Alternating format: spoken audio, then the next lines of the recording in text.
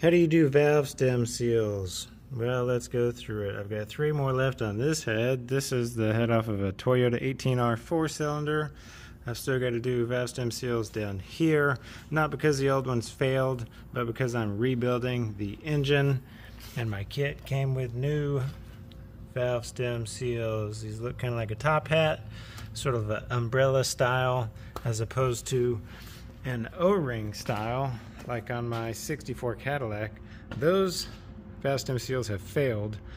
So basically it's getting oil from here. We have the camshaft up here and the valve train and all this stuff is getting lubricated by oil. And if the seal fails it's down in there then the oil goes down past the seal.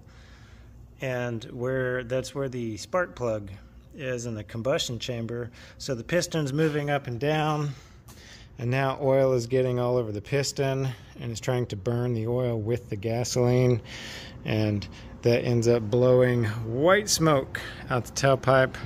It also will uh, let the combustion gas, when this piston comes up, and we've got 10 times the compression, you know, uh, 10 times the pressure of atmosphere. So if you have a 10 to 1 compression ratio, it's squeezing atmosphere air 10 times, and that vapor is escaping past the seal into the valve train, the valve body where the oil is. We've got all these oil passages delivering oil to the moving valve train. But when you have exhaust or uh, combustion gas escaping and pressurizing what's under your valve cover. Oftentimes, it also finds its way down into the crankcase, as is the case with this Cadillac. The crankcase is being pressurized, and if you rev it up or floor it, it just shoots oil out of the dipstick tube, out of the fill neck, and blows white smoke. So valve stem seals is how you fix that. It could be a couple other things, but a lot of times this is what it is, especially on that category, the O-rings versus the umbrella style. Um, so many heat cycles, they get old, they rot, they crack. So what you need, a valve spring compressing tool. They don't all look just like this, but they all function kind of the same way. Uh, so what we're going to do is put this on a spring, tighten it down, and compress that spring. All right, put my glove on. So you'll notice one side sticks out farther than the other side. That's because as the spring coils, it comes up. So it starts in here and comes up, up, up, up, up. So it's going to still, the top of this tool is still going to be even with the top of the spring because one side is higher.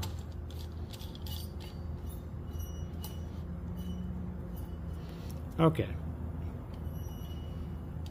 So we're just going to compress and compress and compress.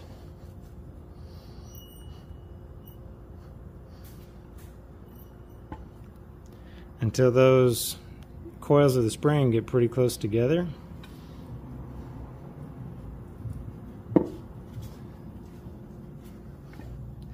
And that's going to earn us some movement here. I'm going to tap it with my hammer.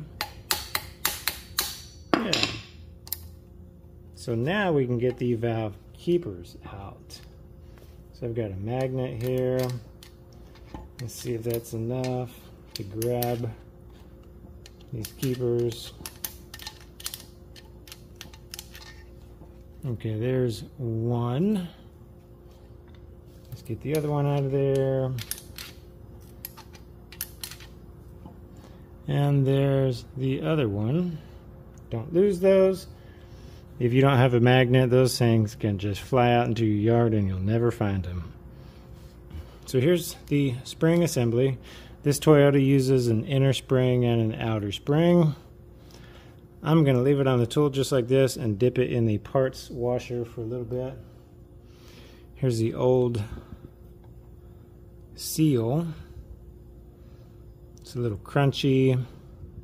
you can't even really see the sealing surface is just covered in goop. So what I'm also going to do is push the valve out.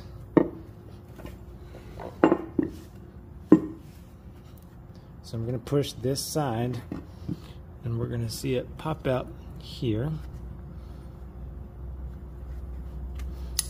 Okay, so here's our valve. Set the head down. So now I want to clean the spring seat.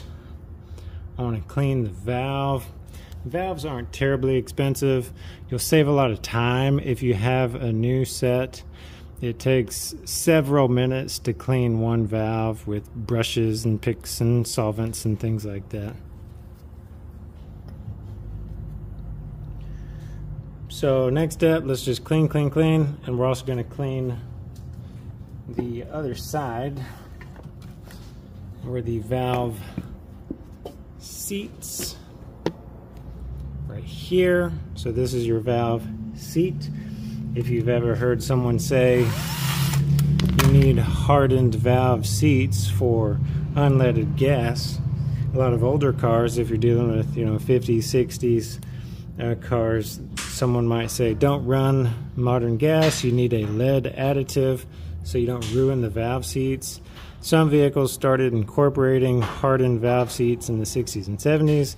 By 72, when the government mandated all the EPA stuff, um, all the gasoline makers were essentially phasing out leaded gasoline.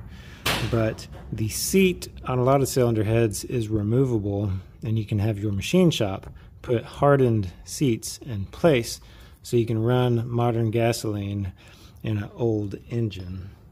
But let's get all this stuff cleaned out and then we'll do reassembly. And now we've got our stuff relatively clean. What we're going to do is uh, first we're going to lube the seal with some oil. I've got the bottle cap of an oil bottle. I'm Just going to put some oil in there. I want to make sure we get kind of inside and outside. Okay. Just set that down. Sometimes it helps to have something like a socket to drive that thing down. I'm going to go ahead and oil the valve. Just put some on there and I'm just going to let the oil run down the stem for a sec.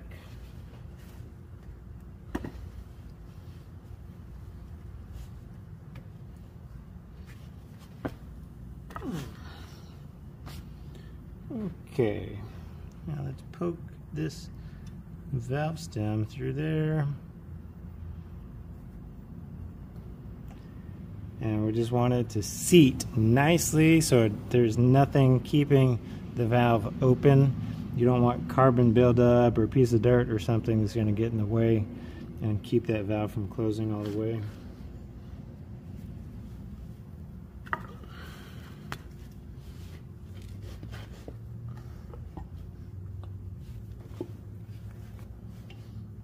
okay we're just going to tap this. Now that seal is all the way down. We're going to put the spring. I've still got my tool on here. It's still compressed.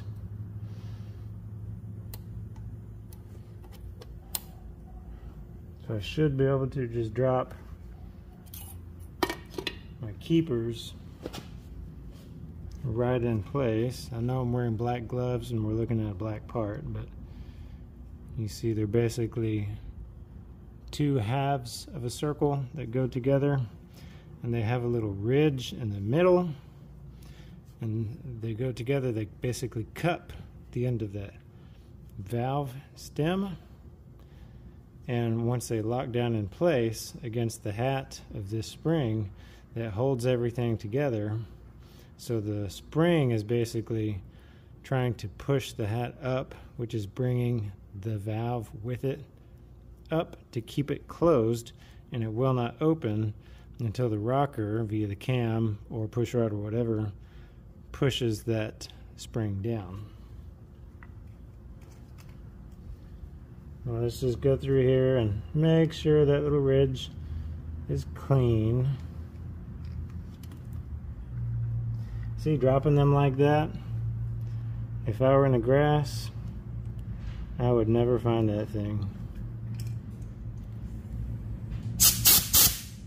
Also be careful using compressed air like this. If I don't have a good hold of that and that air blows that thing out, it'll be gone for good.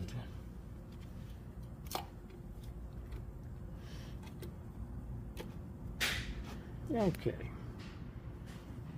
So they're kind of tapered. So they only go in there one way. Okay, there's one. And there's two. And now I can back this compressor off. So it's releasing my compression on that spring. And there we go. So now I've just got two more. Just rinse and repeat. Do the whole thing and then you should be leak free. I will mention uh, you don't have to take the head off of the car. If you do it still in the car on the block, you do have to have a tool. You pull a spark plug out and you thread in an adapter so you can put your air nozzle with a compressor um, into the where the spark plug went and you pressurize the combustion chamber where the piston is so that air is forcing the valve in the closed position. So when you pull the keepers out and pull the spring off, you don't want that valve just to drop down into the combustion chamber. Um, if you do drop that thing down in there, then you're pulling the head off to get it out.